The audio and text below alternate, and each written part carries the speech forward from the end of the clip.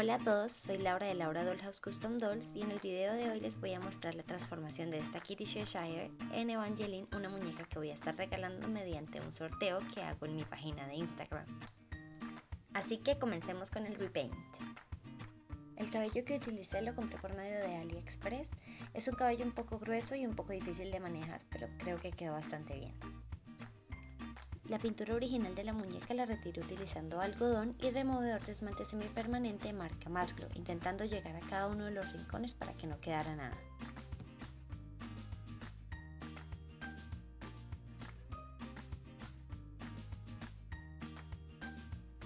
Generalmente para retirar la cabeza utilizo agua caliente, pero en este caso para no dañar los rizos del pelo utilicé un secador y lo puse durante alrededor de dos minutos hasta que se ablandara bien.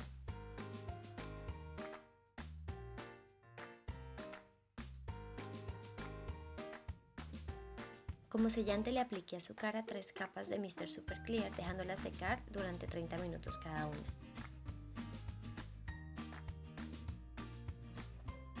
Como siempre inicio dándole la forma al ojo con un color bastante puntiagudo que sea del color más o menos similar a la piel o que no sea negro, no sea muy oscuro para que no se marque tanto.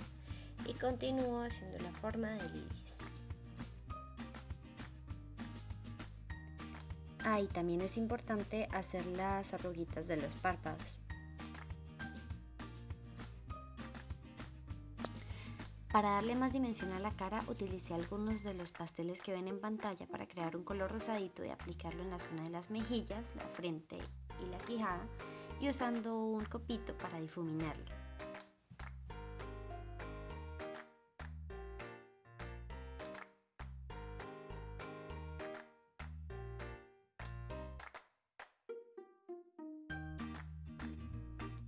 Con los pasteles también creé un color morado que utilicé como contorno debajo del hueso de los ojos, a los lados de la nariz, por debajo de esta, en las mejillas y también en la comisura de los labios para darles más profundidad.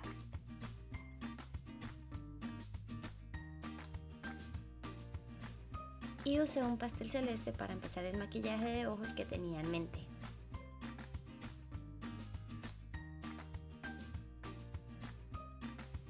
Las cejas las empecé a hacer con un pincel plano y pequeño y usando sombra negra, aunque no era la mejor elección, pero pues creo que salió bastante bien. Y continué dándole detalles usando un color acuarelable negro para hacer la forma de los pelitos que se pudieran ver. Aunque se me había olvidado decirlo, eh, ya había sellado otra vez la cara con otra capa de sellante y por esto es que puedo borrar tan fácilmente los errores. Ahora sí, continuando con el color, apliqué color blanco en la parte blanca del ojo y también un tono amarillo que más adelante cambia de parecer y el resultado final va a ser completamente diferente. Pero en este caso pues quería un tono amarillo y lo delineé con color naranja para resaltarlo más.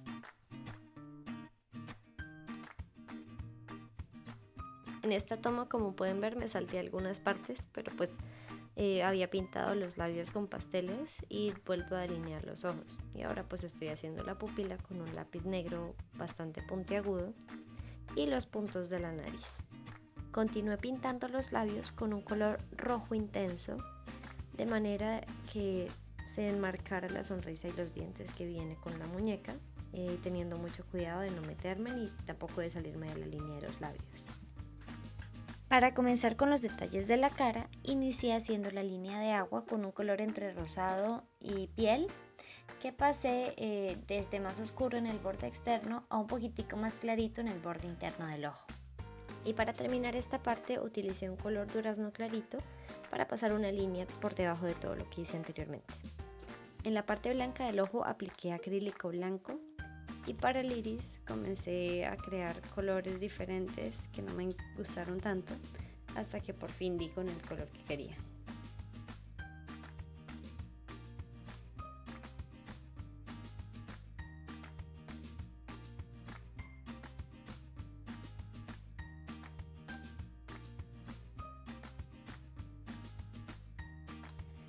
Realidad no me gustó ninguno de los colores que creé con acrílicos, entonces utilicé estas hojuelas brillantes de AliExpress, la número 2 específicamente que brilla como entre verde, rosado y amarillo para crear el iris. Para aplicarlas utilicé un pincel muy delgadito y pequeño que sumergí en agua, pero hay que tener muchísimo, muchísimo cuidado porque estas hojuelitas se quedan adheridas en la piel, en la cara de la muñeca y luego no se pueden quitar. Toca usar removedor de esmalte. Ya cuando tuve más o menos la forma circular hecha, comencé a hacer el borde del iris con un color morado metálico y también pinté la pupila de color negro, aunque casi no se ve en esta toma. Y así quedó la cara con los brillos ya hechos en acrílico blanco. En esta toma ya se puede ver que los labios y la boca están completamente terminados, incluyendo los brillos que le puse. Y para los ojos con este azul empecé a hacer la forma de la sombra que quería, aplicando también pastel color morado en la esquina exterior del ojo.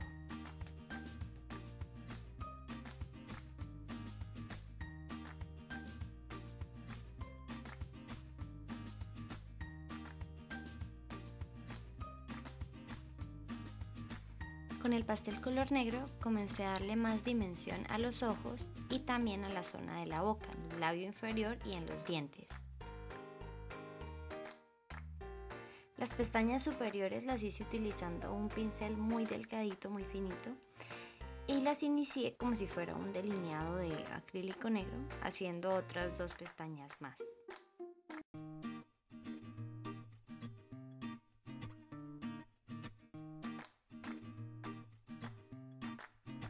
Por otra parte, las pestañas inferiores las hice utilizando el color negro acuarelable, al cual le saqué bastante filo para crear Vs invertidas que parecieran pestañas.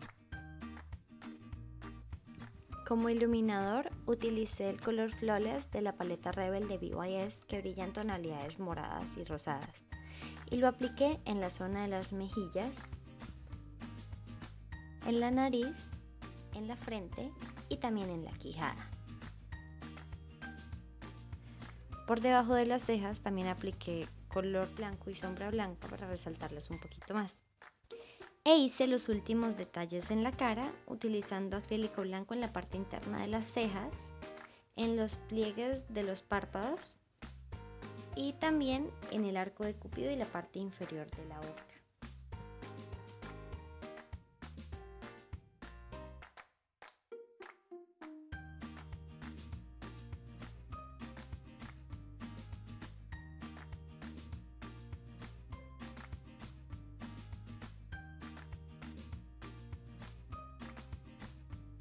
Y así es como quedó finalmente Evangeline luego de una última capa de sellante y brillo en sus ojos. Como pueden ver, los ojos cambian de color según la posición en la que esté su cara o la intensidad de la luz. El cuerpo lo inicié de la misma manera que la cara usando tres capas de sellante y los mismos pasteles que había usado antes. Estos los apliqué en la zona del cuello, en los hombros, por debajo del busto, eh, en la ingle en los codos, en las muñecas, en las rodillas, en las caderas y en los pies, que son las zonas más estratégicas para darle un poco más de vida a la muñeca.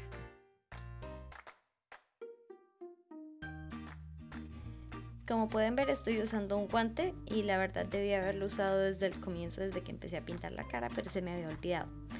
Eh, pero bueno, continuando, la espalda también la hice de la misma manera, lo que son los hombros, eh, la, cola, la espalda, la parte de atrás de las rodillas, de los codos y de las muñecas y la planta de los pies. Decidí que quería ponerle algunos tatuajes a la muñeca, así que pues aquí estoy poniéndole este en la espalda de flores eh, con un algodón completamente mojado, teniendo mucho cuidado para no dañarlo y para no dañar el trabajo que ya había hecho con los pasteles en la piel.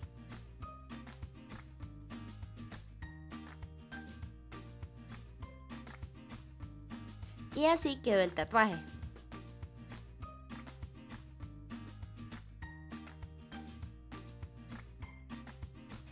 Este vestido que le voy a poner lo hice yo, aunque soy bastante principiante, y pues le puse pepitas, encaje y un alambre en el busto.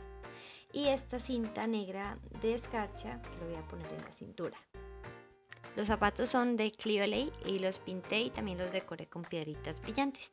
Para el cabello creé este moño durazno y estos aretes y anillos son los originales de Kitty.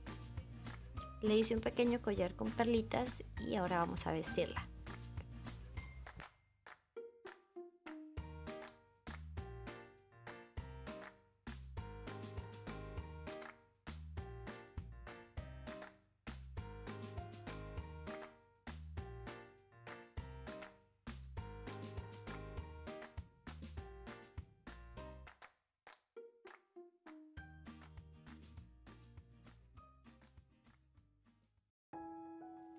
Y después de todo el trabajo, esta es finalmente Evangeline.